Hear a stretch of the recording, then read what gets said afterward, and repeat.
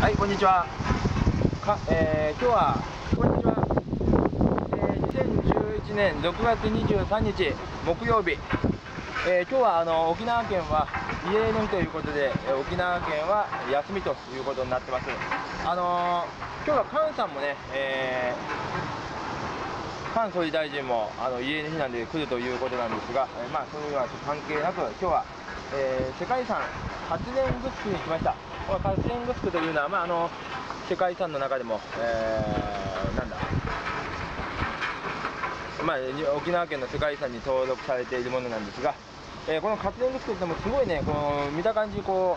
う、ラピュタのような、ここに来るとラピュタのような感じにですね、えー見えるところなんですが、あのーまあ、ここにも世界遺産のものがありますけどもね、えーちょっとここを読ませていただくと、2012年2月、発電グスクアートは、琉球王国のグスク及び世界関連世界遺産の一つとしてユネスコの世界遺産条約に基づく世界遺産リストに登録されました。えー、この世界の人々のために保護すべき遺産として特に優れた普遍的な価値のあるものがこのリストに登録されていますということでね、えー、ちょっと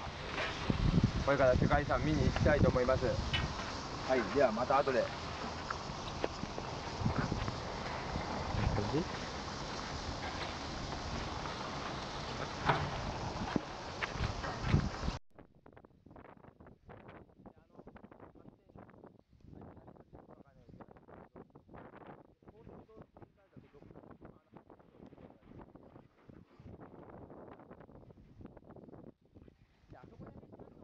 much with